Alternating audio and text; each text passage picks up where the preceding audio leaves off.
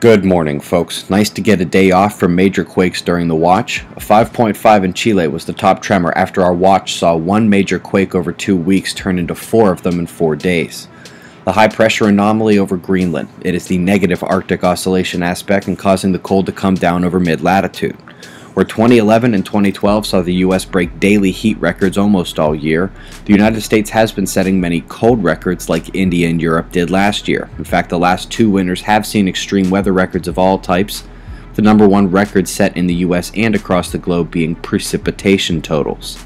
Speaking of the US, strong low near North Texas is going to create the potential for severe weather, not just here at the yellow marker, but over a much broader area. This is weather.gov and a terrific local watch map for you. Pressure map again, got a low just out of view. She is spinning towards the west coast now, while the last storm appears to be lingering in the North Atlantic. I put Europe on watch for this two days ago because I didn't see the invisible brick wall set to halt him in his tracks.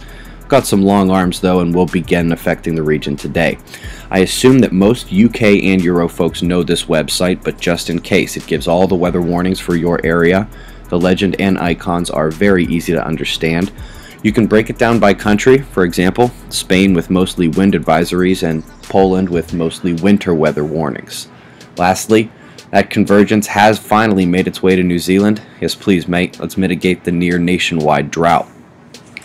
Bartol Usually they take stuff like this off the charts, but I was here yesterday and that wasn't. This is no error, we took a huge cosmic ray influx and it is visible on multiple stations. This may truly have caused the strange ionosphere readings yesterday, although likely by the way of detector overload or similar error because the actual readings made no sense and a good bit of our planet would have gotten baked.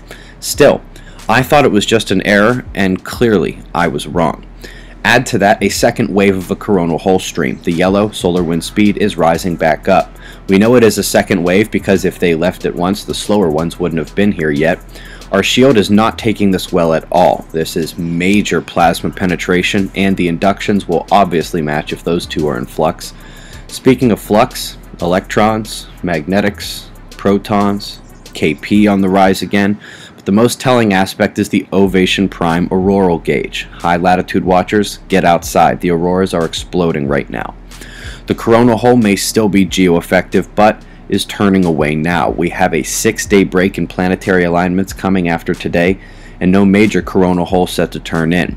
Quake threat is definitely lessening, not gone yet. Those bright areas turning in are new active regions. Getting a solid look at these for today. Magnetic classification coming tomorrow. I also direct your attention to a massive plasma filament dancing in the solar atmosphere. Let's keep an eye on him as he turns in too. Eyes open. No fear, it's 6.15 a.m. Eastern Time and that's the news. Be safe, everyone.